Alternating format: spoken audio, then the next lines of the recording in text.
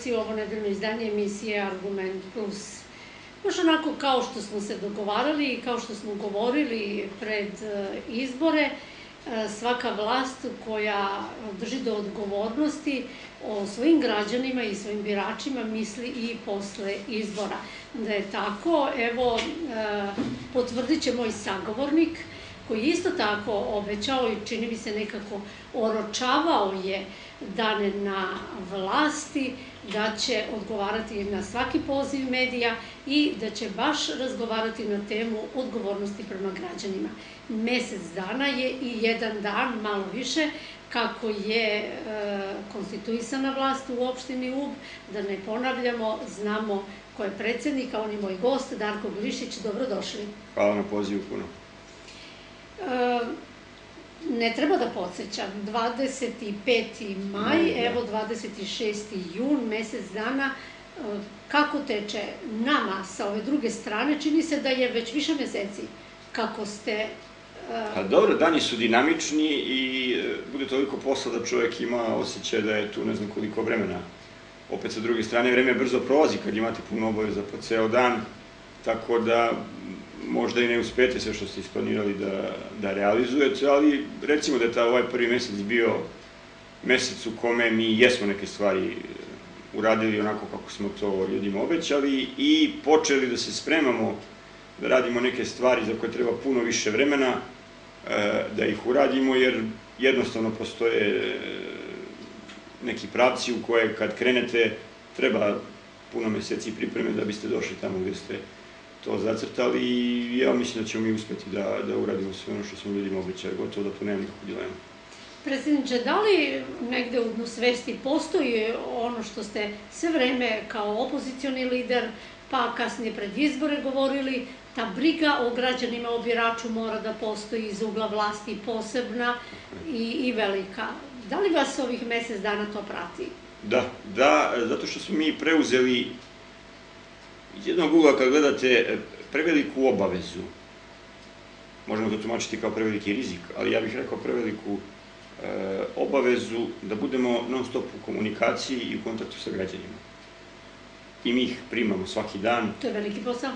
Ogroman posao, dođe puno ljudi, ja se sad izvinjavam onima koji možda ne mogu da stignu e, na red, jer ako dođe 50 ili 60 ljudi tog dana, u opštinu nije realno da svi budu primljeni, prosto postoji neko vreme koje je potrebno da biste sa nekim obavili razgovor i videli šta je to što, što je ovaj problem. Naravno, osim mene, tu su i moj zamenik i moj pomoćnik koji takođe e, taj posao rade. Nekad se to dogodi da neko od nas ne može zbog neke obaveze e, preuzete vezano za neki sastanak koji moramo da rešimo neke e, generalno krupnije probleme, ali e, mislim da jeste naporno, ali je pravi put. E, jer čujete da li ste nešto dobro uradili ili niste, e, imate tu prvu neposrednu pravu reakciju ljudi e, da li je dobro to što vi radite, da li je dobro to kako se vi ponašate i ukoliko budemo imali taj eho, slušali to što ljudi budu nam govorili, mislim da mi nećemo napraviti nijednu glupost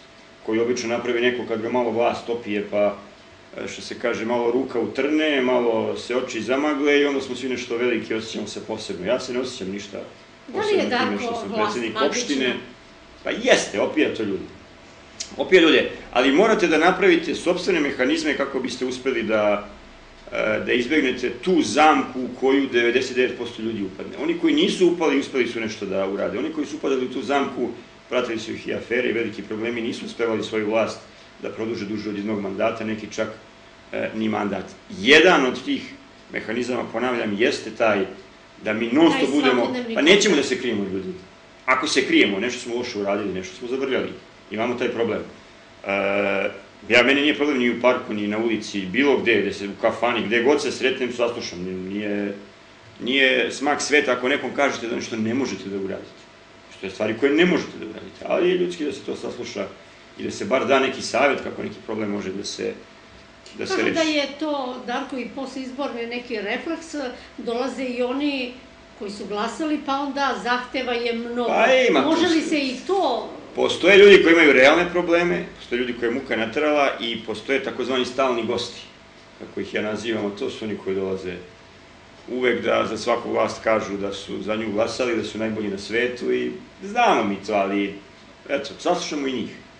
Saslušamo i njih, ali im stavimo do znanja da nismo sad baš toliko deca da možemo da poverujemo da eto, neko svake nedelje dolazi tu već ne znam 10-15 godina unazad i da baš samo njega muči, a da niko drugi nema nikakvu muku.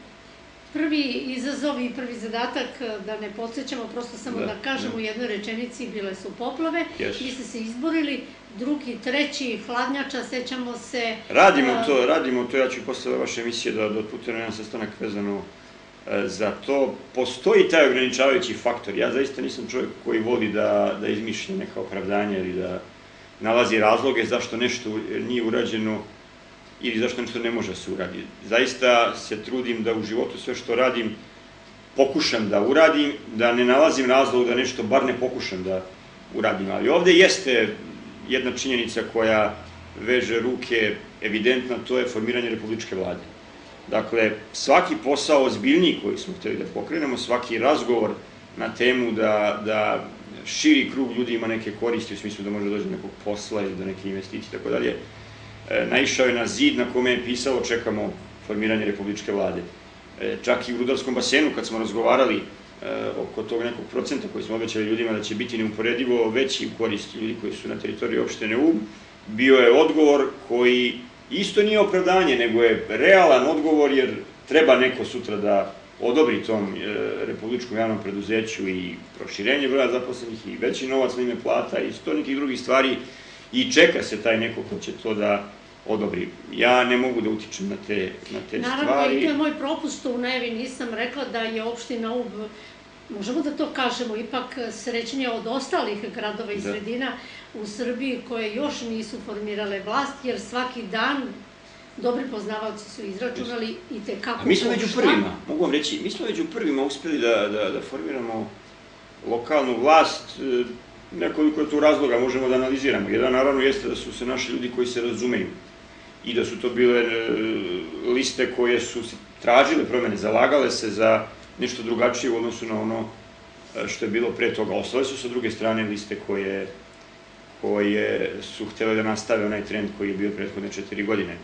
E, opet je jako neobično i pravi raritet, redko redko gde se može naći da e, recimo vam i Demokratska stranka i Socialistička partija Srbije ostanu, ostanu opozicija e, u nekoj opštini ili je jedna ili druga ili su obe uglavnom uspevale da nađu svoje partnere u nizu, nizu opština, tako da jesmo, brzo smo radili zato što ne razumemo, onda je to bežanje odgovornost, od, od, odgovornosti, jer e, ako smo tražili od birača poverenje, ako smo želeli da uđemo u taj posao, ako smo nešto ljudima obećali, onda je vreme da ga što pre u njega uđemo. Ja ne mogu da zamislim da sada kao neke opštine u našem neposrednom okruženju koje to rade, ulazimo u sve ono što se nama dešavalo pre mesec dana. Taj mesec dana koji je ostao iza nas je dragocen, jer smo mi uspeli da se stabilizujemo, da, da shvatimo i okruženje u kojem smo i da na pravi način shvatimo zadatke koje treba da, da realizujemo, ali neka moja, evo, govorim sad u svoje lično ime, neka moja priroda je takva da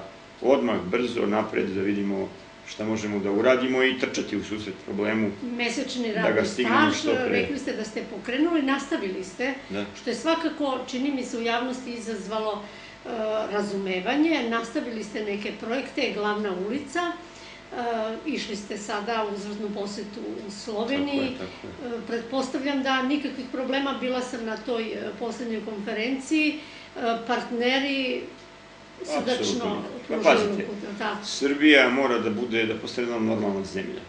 Srbija ne treba da bude zemlja osvetnika u kojoj kako se promeni vlast, oni drugi treba da očekuju da će završe na banderama i da sve što su radili, da će biti pobrisano sa lice zemlje. Dakle, odgovarat će oni koji su krivično odgovorni, odgovarat će oni koji su krali, odgovarat će oni koji imaju nekih dakle, problema sa zakonom. Ima li takvih? Politi... Kada ste ispitujem, ovako pregledali? Ispitujem, evo ja sam poslao, budžet, uposlio sam budžetsku inspekciju u punom kapacitetu. I e, na osnovu njihovih nalaza i nalaza nekih drugih inspekcija preduzimat ćemo dalje mere. Dakle, ja ne želim na osnovu neke moje lične simpatije ili antipatije da pokrećem bilo šta, na osnovu konkretnih dokaza, ići će i konkretne mere.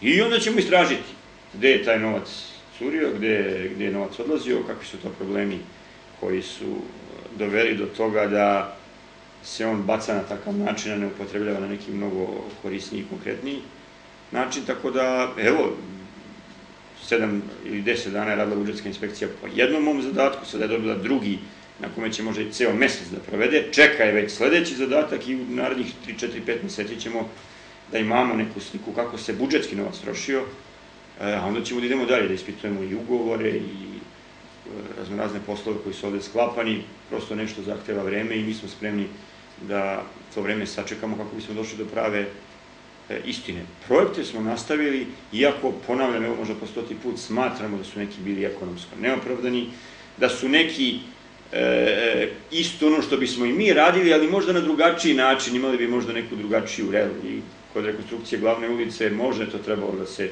jedan deo ostavi za neku pešačku zonu, da, da imamo baš pravi gradski trg, da nekim delovima te ulice koje bi zatvorili ostavimo i više prostora za parking, ali ajde sad. Ali nije to je, nepopravljivo. Pa nije nepopravljivo, to je sad tako urađeno kako je urađeno, korist je što će se te instalacije dole zameniti, što ćemo neke dodatne koje smo mi po E, preuzimanju vlasti dogovorili sa investitorima da i kabel neki koji je potreban elektrodistribuciji da bi ovde e, stabilizovala snabdevanje električnom energijom i eventualne pretpostavke za e, toplifikaciju koja je takođe jedan od naših strateških ciljeva. Dakle, dosta će tu stvari biti korisnih urađeno, a sam taj neki interijer koji će biti gore iznad svega toga vidjet ćemo Jedan je u tom idejnom rešenju, da li ćemo mi to kasnije modifikovati, to će biti stvar dogovora. Sada je preskupo da se e, nešto tako menja i uradi, jer su to već bile gotove stvari, gotovi ugovori koje smo mi e, mogli vrlo malo da, da korigujemo. Što se tiče posete e,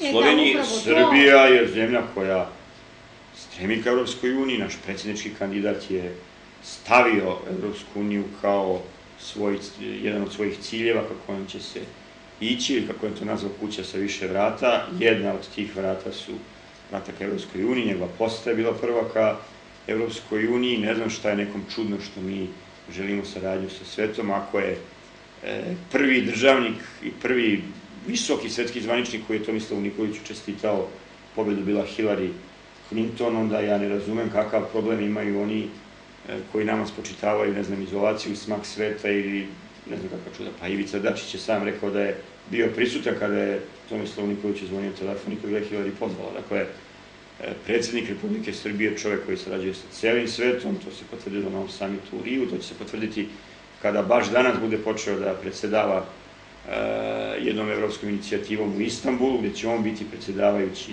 tu, gde će se susresti sa mnogim takođe državnicima. E, mi naravno koji smo sledbenici iste politike ćemo to raditi na lokalnom nivou, potrebno da se povežemo sa što više tih opština u Evropskoj uniji, kako bi smo mogli da apliciramo za razno razne projekte i mi ne samo da ćemo nastaviti na primjeru jedne opštine u Sloveniji, nego ćemo da pokušamo to da uradimo na što više mesta, kako bismo uspeli sebi da otvorimo vrata, da možemo da konkurišemo za mnoge stvari koje proizilaze iz tih kontakata i dogovora e, u, u Evropskoj uniji.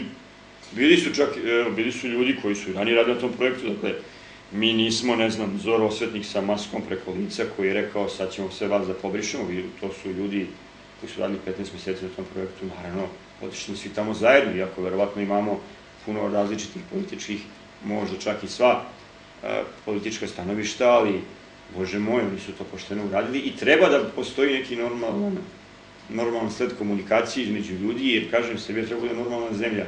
Jedan ide do jednog nivoa, tu pogode zastavicu, ako dođe druga vlast, on treba isto tu zastavicu da nosi ka nekom višem nivou i da stremi ka nečem višem. Koliko to stalno budemo vraćali nazad, ne znam dok, dok ćemo stići, a ubeđen sam da da takvim režimom i načinom ponašanja ne možemo daleko da stignemo. Ne možemo svakako, ali e, pre nego što ste krenuli, E, priču o poseti, ja sam htjela postavim jedno pitanje.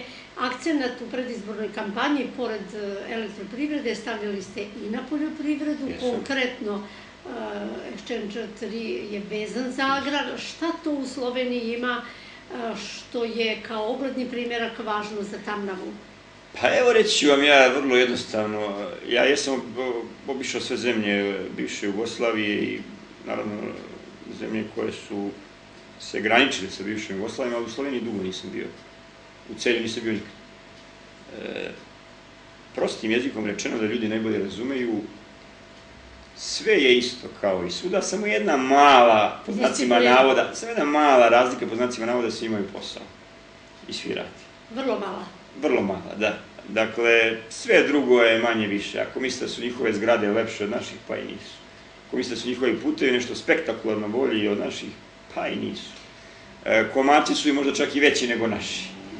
I njih ima tamo. Nije samo, da, nije samo da mi imamo problem sa komarcima. Ali, ono što je, dakle, zaista stvar koju su oni do, doveli do gotovo maksimuma je to da ljudi imaju posao, ljudi rade, ljudi se zapošljavaju, nema zapaloženih i zapuštenih e, privrednih subjekata. A od nas su prepisali zakon o zadrugarstvu, pouzdano znam.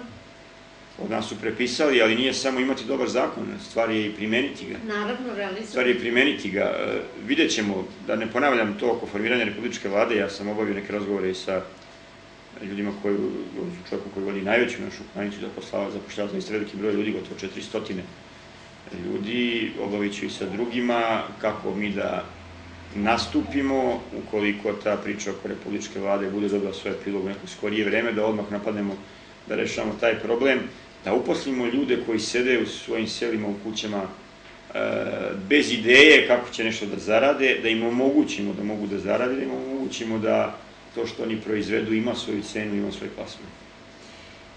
Nećemo daleko od eh, glavne teme. Ja sam, eh, poštovani gledalci, eh, dan pre gostovanja predsednika Darka Glišića napravila jednu malu telefonsku anketu. Opet ću da se ogradim, nije baš to reprezentativno kao što rade profesionalci, ali jedan zajednički stav svih koje sam pitala po pitanju nove vlasti je e, dobronamerno i dobrodošlicu svaki je poželeo, a znate šta je drugo, drugi odgovor? Dobro je da znaju oni koji nisu na vlasti da su smenjivi. To je jako zanimljivo. To prosto i, i van tog mog telefonskog poziva u nekoj drugoj komunikaciji svi tako govore. Kako vi to razumete i komentarišete? Da li vlast toliko može da uljuljka da se zaboravi? Pa, komentar je jednostavan, mislim da smo, to, da smo se toga dotakli u nekom od prethodnih pitanja. Postoje ljudi koji kada dođu na vlast shvate sebe kao da su Bogom dani i kao neku vrstu božanstva. I kao da sve što se dešava ovde, čak i vazduh koji dišemo je njihova zasluga. To nije tako. Ja sam u svom govoru na Skupštini prvom posle dobijanja poverenja budem predsednik opštine rekao da sebe ne doživljavam ništa posebno, ništa specijalno. Nisam ja sad ne znam šta uradio u životu. Doživljavam se kao neko ko će biti na čelu tima koji treba nešto da napravi, da uradi, da posle godinu dana kaže ljudima jesam ili nisam nešto e, uradio. Tako da se trudim da pomaže mi to iskustvo neko koje sam ranije imao, znači i dva puta poslanik i predsednik Skupštine i još e, sijaset nekih e, funkcija kroz te u republičke odbore to koje sam... neka maksimalna prisutnost na Pa- političkoj sceni? Pa jeste, dobro, ajde sad, ja ne mogu da, da kažem, tu sam negde 16 godina već u kontinuitetu, radim samo to, ne bavim se ničim drugim. E, trudim se da sebi napravim neku, neku zaštitu u smislu da imam taj neki, neki reper koji će uvek da me drži na nivou na kome treba, da mi se nikad ne desi da radim to što su, što su radili drugi i da mi neko kaže, evo kako je bahata Josio na vlast, evo sad je on zaboravio hoda dva metra iznad zemlje. Znači, zaista se trudim da, da se tako ne ponašam i zbog toga je i primanje ljudi svaki dan, zbog toga su i ti neki neposredni kontakti i ja zaista sebe ne doživljavam nešto spektakularno zbog toga što sam predsednik opštine, to mi je to. Da. Jedan, jedan stepenik u životu koji treba da e, pregazim, nadam se da ću uspešno da, da ga pređem, ne planiram da to bude doživotno, ne, planiram, ne vidim sebe kao neko ko će cijelog života da bude predsednik opštine ili ne znam koliko, jedan vremenski period da, dok ne pokažem neke rezultate, a onda u životu mora da se ide dalje i, i to je tako. Kao što sam rekao da dva mandata sam bio narodni poslanik, ne želim više da budem narodni poslanik i dva puta to vratio i svima je to bilo nešto nelogično i nenormalno jer je tamo, ne znam, plata duplo veća nego što je ovde, ali ako želite da vodite svoju karijeru, onda morate da nekad nešto i žrtvujete da bi ona imala konstantu od 16 godina, evo kako se meni napravi. Da. E, ono što isto tako u tim anketama e, govore, možda je ta populacija koja na taj način razmišlja malo ostrašćenija, e, vaš predsjednički tim i uopšte tim da. sa kojim sarađujete, čini mi se oslanja se i na neke ranije da. funkcionere i to je jedna od onako ne zamerke, ali prosto konstatacija. Ja samo tražim strpljenje. Ja samo tražim strpljenje, mi treba da uđemo u čitav sistem, mi naglim potezima ne smemo da sistem urušimo ili da ga dovedemo u pitanje. E, svako od ljudi koji su ranije radili, koji već na njih jesu profesionalci, dobit će šansu da pokaže da li može da ispuni naše zahteve, oni koji ne mogu, ići će, oni koji mogu, nastavit će E, dalje, e, ja sam uvek na to da se oslonim na ljude koji imaju određeno iskustvo, ukoliko oni iskustvo koje imaju žele da koriste da bi se šalili sa mnom ili da, ne znam, me naprave da budem isti kao politički oponenti, onda će ta karijera njihova brzo da se završi, ja nemam problem nikom od njih u lice da kažem podnesi ostavku ćeš biti smenjen, jer nikakvog tu sentimenta nema, to je posao ukoliko budu mogli da rade i da prate taj neki tempo, to sam govorio i ranije, to govorim i sad, i da to svoje dragoceno iskustvo koriste, da, da radimo i stremimo ka ciljima koje smo zacitali, ne, nema problema nikakvih. Ja nisam ni surevljiv, nisam sujetan, mislim da sam to dokazao u ovom periodu, pokazao da nisam neki osvetoljubiv čovek koji, ne znam, iako su me tamo e, ovi glavni oponenti svrstali u, ne znam, kasapina neko ko ide i bičuje ljude po hodniku, vi dođete pa proverite kakva je atmosfera. Ja bih voleo da se oni ponašaju kada nekada budu i ako budu došli u priliku da preuzmu vlast, isto tako kao što se mi ponašamo i prema ljudima koji su u vrhovima njihovih stranaka, dakle, da usvojimo jedan normalan princip i normalan kodeks obhođenja jednih prema drugima i time ulijemo neku stabilnost opštini Jug, da ljudi kažu kada neko dođe kao investitor, je tamo nije kako koja vlast dođe da se gledate kroz prozor. Jer nas je to dugo godina pratili, jer se to pre 12 godina i desilo e, ovde. Dakle, e, ja bih voleo da oni pokažu neki maksimum tolerancije. Ja sam za četiri godine njihove vlasti doživio sve i svašta. Prvim danima naše vlasti sam doživio sve i svašta. E, pa to su raznorazne, pre svega javna saopštenja koja su bila u kojima sam nazivani ovakvim i onakim imenima, do drugih stvari koje su imale za cilj da, eto, što više oklevetaju, da može stvore atmosferu da ja dođem u sukob sa nekim ili da mi se možda bezbednost ugrozi s druge strane i tako dalje. E, jedna varijanta je da svima jasno da se može da se desi, ali sad nešto da se ja baš uplašim nekog ili nečega, to je stvar koja se graniči sa naučnom fantastikom, ali e, za period kad su oni bili na vlasti, ljudima koji bi seli popili piće sa mnom, bilo je za mene to što radi. Namestit će se prilika da se susretnemo sa konkurentima političkim, reći ću im ja i imena. Mislim sam čak neki i pominjao u kampanji. Ljudi koji, samo zato što su moji prijatelji, su bili pozivani da im se spočita da ne treba da budu moji prijatelji. Što je budalaština. Ja nijednog nisam pozvao od prijatelja prethodne vlasti, ne kažem ne treba da budeš tamo ili ne znam, poljubi meni ruku da bi mogli da sarađujemo. Ma ne, sarađujem, sarađivat ćemo. A ima li toga, predsjedniče, kada smo već dotakli tu Samo temu? Za, i zapamtio im jesam, ali znate kako ono kažu, e, neću zaboraviti, ostaće to kod mene urezano u glavu, ali se svetiti neću. Ima li toga da oni koji su ostali, koje vi kao predsednik i vaši najbliži saradnici niste dirali, prosto obavljaju te, da, da vam dođu i kažu oni pre vas nisu bili dobri? Sad kad bi ja krenuo da vam pričam, svašta bi tu bilo. Dobro. Ali, e, i znam da ljudima to zanimljivo.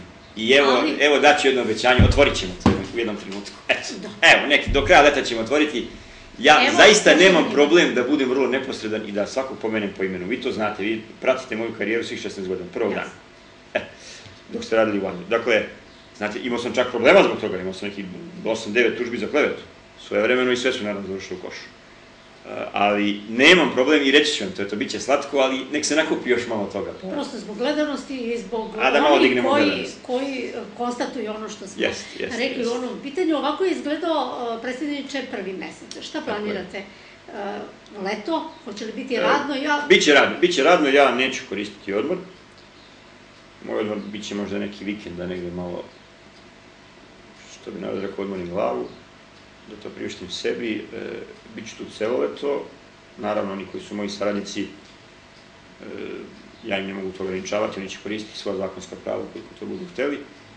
Ja, dakle, neću. E, Biću tu, da ide dalje posao, toko glavne ulice mora se isprati, imamo, finiširamo tu priču oko Rudarskog basena Kolubara, imamo i dubske večeri koje moraju da se organizuju, da probamo to da isto izdignemo na jedan dostojan nivo, dosta još to nekih stvari koje smo mi započeli, koje dovršavamo od prethodne vlasti i ona naravno najvažnija je da potpuno ovladamo čitavim sistemom rukovodđenja e, i ja to planiram da uradimo, uradimo ovaj, tokom leta, tako da bit će to zanimljivo. Predsednik se i pre mesec dana smo o tome diskutovali, s obzirom da se ništa značajnije nije dešavalo, post, prosto to pitanje još uvek je na snazi. Uh, naš Kolubarski okrug, uh, šest opština je svugde formirana vlast, je tako? Ostalo je nije, opština. Nije, pa evo, ja, jedan od razloga da se vrati samo na prethodno pitanje, zbog čega neću koristiti odmor, i u trenutku kad se formira republička vlada, mora se biti spreman da se krene ka onom delu poslova koje diktira republička vlada.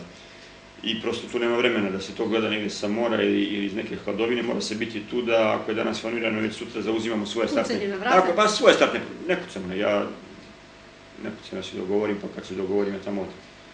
Ovaj, ali, dakle, e, moramo, moramo biti potpuno spremni da odmah krenemo da svoju startnu poziciju zauzmemo na što e, bolji mogući način. E, što se tiče vašeg drugog e, pitanja... Vi ste predsednik okružnog odbora. Jeste, vezano za ove ostale opštine. Kakva je pa, situacija? Brzo su radili u, neposredno, neposredno, e, desetak možda dana kasnije ili ne više od dve nedelje, uradila Sečina, ništa uradila Mionica, ne znam kako će prvi sud reagovati, jer mislim da imaju dosta stvari koje su sukobu sa zakonom. Ove ostale opštine nisu formirale. Valjevo se planira negde između 2. i 5. jula, Očekujem da Srpska napredna stranka bude nosilac vlasti u Valjevu, sinoć su imali ozbiljne razgovore, koji bi trebali danas ili sutra da dobiju neko svoje finale, neki svoj epilog i da onda idemo spremni na tu skupštinu koja je, mislim, 2. jula, ako se ne varam, zakazana, ali će sve biti najkasnije do 5. potpuno rešeno. 12. E, jul je predviđen za opštinu Lajkovac, potpuno nepoznanica, I e, što se tiče opštine Ljig, to očekujemo isto narednih par dana. E, Srpska napredna stranka će tamo takođe biti deo vlasti sa Socialističkom partijom Srbije i sa Novom, i sa Novom Srbijom, tako da e, eto, i tamo ćemo imati priliku da pokažemo da smo kadri da ispunimo ono što smo ljudi moguće. Jako zanimljivo, ranih godina gledala se ta vertikala. Čini mi se da ove izbore i posle izbore karakteriše baš ona diametralna suprotnost. Uh, pa pravilo, neke, pravilo neko za ove izbore je bilo da nema pravila. Da. Sve je bilo obrnuto od onoga. Ja čak, kad se izbori odvijaju, ne možete da saznate pre nego što se prebroje listići. Ali da. imate takozvane stratume koji po izlaznosti mogu da vam kažu smer u kome će ići izbori. I svi ti neki stratumi koji su meni davali neku naznaku, neku informaciju šta će se desiti tih večeri su mi govorili suprotno od onoga što te večeri jeste bilo i a recimo nikada do tada nisu izdali, uvek su davali taj neki trend kako me će ići izborni rezultat, to je prvi put da su od udara do tog nekog trenda i bilo je sve nelogično, ali da vam kažem, ja sam zadovoljan kako je to ispalo što se tiče izbornog rezultata. Ovaj osmeh to i govori i još jedno pitanje, s obzirom da sam vas otegla od velikih da. obaveza, znam da odmah krećete na put ka Beogradu, ka Beogradu. Sinoć u razgovoru sa jednim mojim vrlo iskusnim kolegom koji me je pitao kakve su šanse da Darko Glišić bude načelnik Kolubarskog okruga. Nikakve. Nikakve? To je prvo... Da, zato što to dobro znam, dobro poznajem Darka Glišića, on to neće prihvatiti. Aha. Ne želim, kao što sam rekao, ne želim da budem narodni poslanik, ne želim da budem načelnik okruga. To je za mene sterilno mesto na kome ja ne mogu ništa da, ni da uradim, ni da pokažem, ni... Bivalo je funkcionera koji su baš onako visoko uzdizani. A ja to ne mogu. Ja to ne mogu zato što bih onda izlagao birači na ugu. A pošto tu živim i susrećem ih svaki dan, ne znam na šta bi to ličilo ako bih posle mesec ili dva dana prešao na to mesto, to bi zaista doživeo kao svoj veliki poraz i izdaju i ne bi smio da pogledam u oči. U Valjevu se o tome govori. To je Ja pitanje znam da koje sam ja prvo postavila i ja ću brzo dojaviti Valjevu. Vi to dojavite, znam da se u Valjevu govori, meni je lepo, da ne bude samo da me na ubu pominju često, da ne kažem u Valjevu, da bude malo i u Valjevu, ali im je ta priča bez osnova. Potpuno bez osnova. E, Srpska napredna stranka, ja sam dakle sinoć e, sa našim partnerima unutar naše koalicije i sa našim d- velikim partnerom, grupom građana dr. Slobodan Gozdenović, dogovorio minimum zajedničkih interesa naše grupacije, mi imamo tamo najviše mandata, dosta mandata ima Boba Gozdenović, to je 19, ukupno imamo u, u, u zbiru, e, sa druge strane SPS 11 mandata i vidjet ćemo koja je demokratska stranka Srbije, najverovatnije, neko ko će činiti jednu To je stabilnu... komotna većina. Pa komotno, oko 30 34 od 51, vrlo stabilna i vrlo e, komotna. Valjevo je grad u kome imate dva, 30 javnih preduzeća, ustanova, to čovjek prosto ne može da pobroja. Hteli mi to da priznamo ili ne, da ne govorim sa nekoj zavijenoj formi, tako dalje, to je predmet razgovora i dogovora, lako smo se mi saglasili oko nekih ciljeva, svi želimo da žive ljudi bolje, da imaju posle, tako dalje, ali e, ta kadrovska struktura je uvek najzanimljivija i mi smo to sinoć definisali u neke dve varijante i danas ćemo to sa ljudima iz SPS-a da preciziramo i mislim da tu ne postoji više nikakav... Rekla sam poslednje pitanje, ali prosto se jedno nametnulo, ni ovde nije mali broj javnih preduzeća. Kako se borite? Pa nije, Svi bi u javno preduzeće. pa nije, nije, ali e, problem UBA je taj, ja to smatram i nemam problem da kažem to otvoreno, ne postoji dovoljno ljudi koji imaju kalibar da mogu baš svi da vode svako javno preduzeće. Mi smo za ona tri ključna opredelili one za koji smo sigurni da to mogu da rade. Da imaju iskustvo i da to znaju. To su direkcija Džunis. I e, ustanova za sport i kulturu.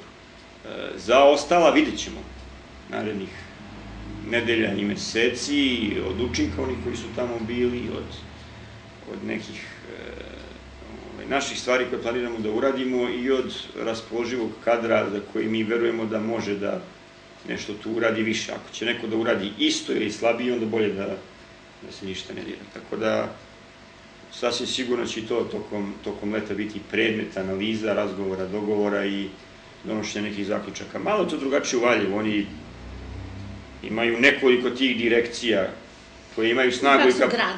Pa imaju snagu i kapacitet e, direkcije, recimo kod nas, od gradske direkcije, od, od direkcije za robne rezerve, od direkcije ili preduzeća, jednog preduzeća Stuborovni koji ima veliki budžet i tako dalje.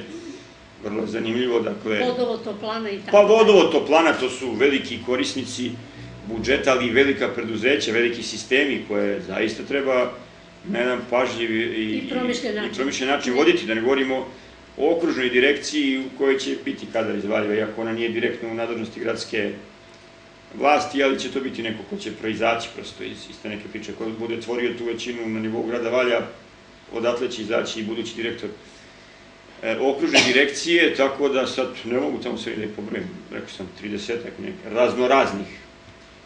Može li predsjedniče da se obavlja vlast bez partokratije? Trudim se, zar vam primer ovoga što mi radimo ovde na Ubu nije najbolji mogući primer. Vi imate sad sve stranke koje su u javnom sistemu, javnim preduzećima, nekoj ustanovi preduzeći, tako dalje. Pa svih ima. Da li su vam politički oponenti, I nisu se povukli, nisu se o povukli tome da kažu, pričamo, da. pružili nekad ruku? Pa sem ove što je čitala saopštenje, ovi ostali jesu, a od Milana Uroševića ne bi ni prihvatio. Bila je ovo, poštovani gledalci, emisija Argument Plus televizije 3M, a svoje argumente u njoj izneo je predsjednik opštine UB Darko Glešić.